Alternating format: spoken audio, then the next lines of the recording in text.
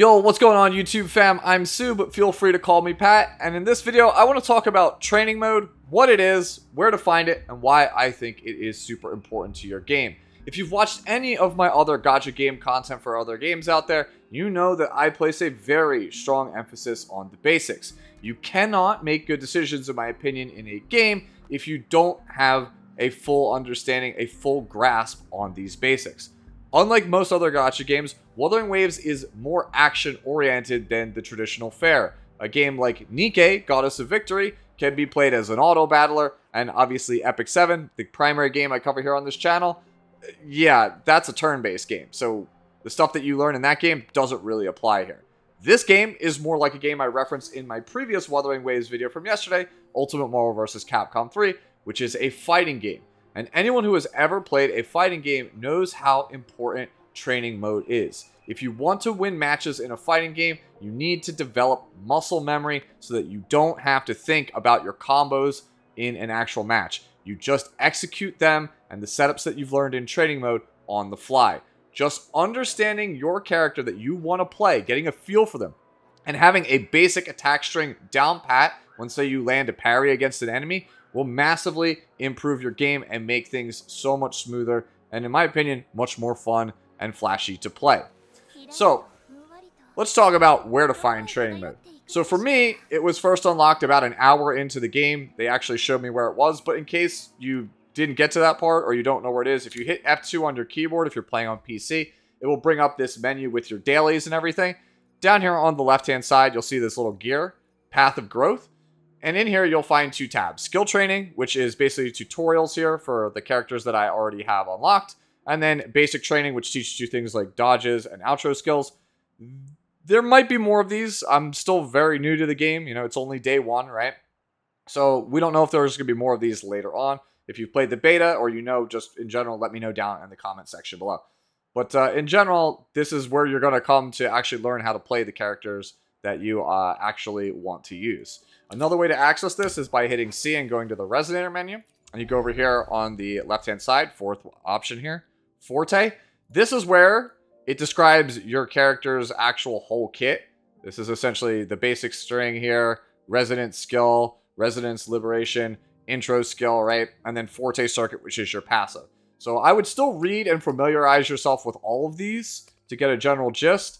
And if you come down here in the lower left-hand corner, there's these lines. This is just a basic overview for how this character actually works. Like, this is a cheat sheet of everything. And from here on your character, you can see in the bottom right-hand corner, there's Proceed to Trial. This brings you, again, to that training mode for the specific resonator that you want to learn. So for this video, I'm going to use Yang Yang because I think she's the most fun to play for me so far of everyone I've unlocked. So let's go over some basics for combat, right? That uh, I've learned from just messing around in training mode that I didn't necessarily know at the start. So you're going to come here to Remnant Key, hit F, and start it. And you'll be faced with this uh, enemy here. It's basically like a training dummy, right? And you can see it says here on the left, perform up to four consecutive attacks with your basic attack, which is left click by default, right?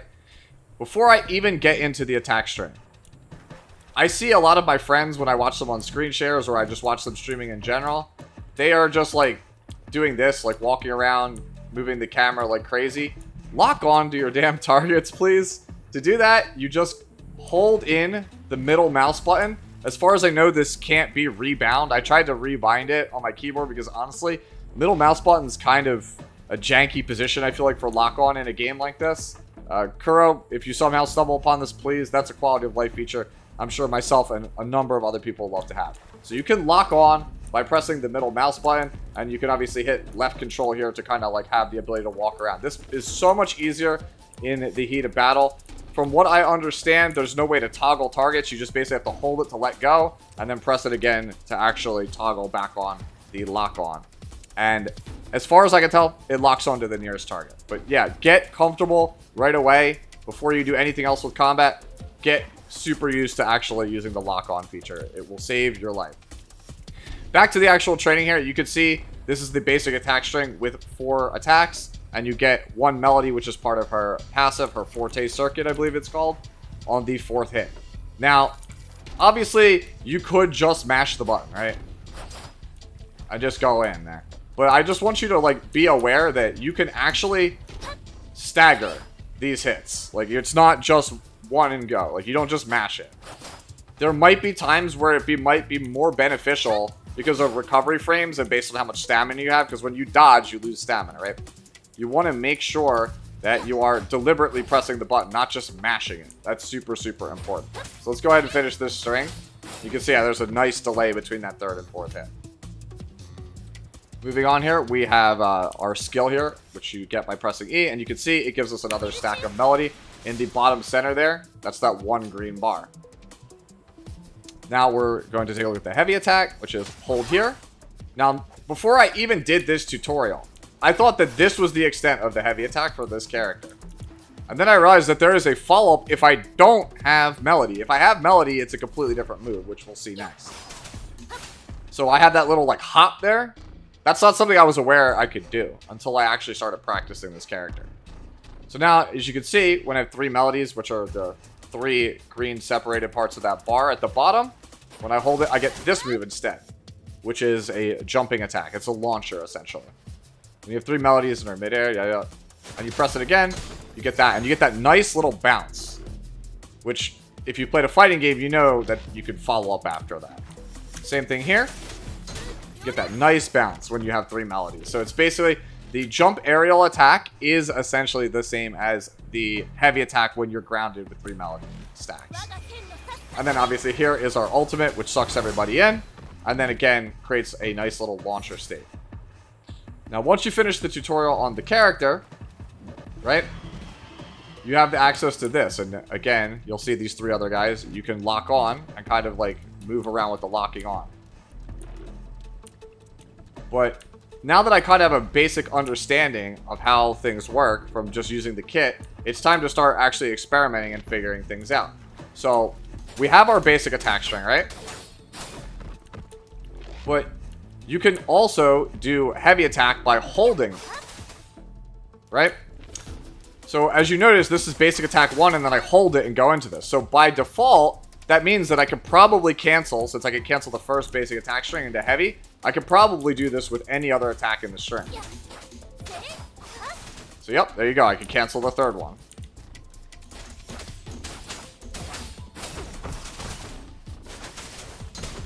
Yeah. Now the thing is, you could also cancel your heavy attacks. So, remember that little hop that we talked about? And that will get us our melodies that let us do that. There's one melody from that. Two from that.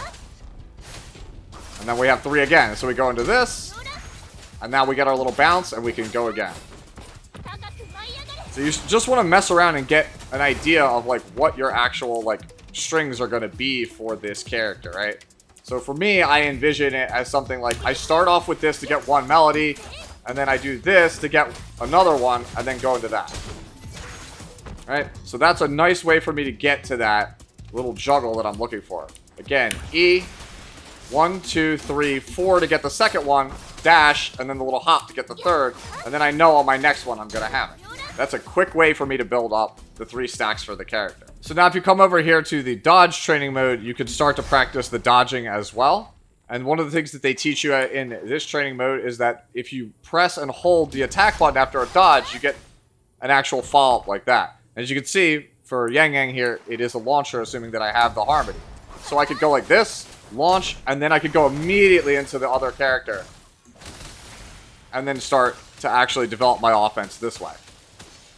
And that's basically it. I kind of really wish there was a more robust training mode so that I could practice with my entire team. I really kind of want to learn the ins and outs, all the different pathways between my characters, their intros and outro skills, but again, I haven't really found that, so this is the best I have to work with. And I know with just this simple setup now, it has definitely helped me have a better understanding and grasp of the combat in this game. Hopefully, this little tip was of some help to you. Subscribe to the channel for more Wuthering Waves content. And if you want to see me play the game live, you can check out my streams over at twitch.tv forward slash IM underscore TSU or just here on my YouTube channel underneath the live tab. As always, enjoy the rest of your day, the rest of your week, and I'll catch you in the next one. Later now.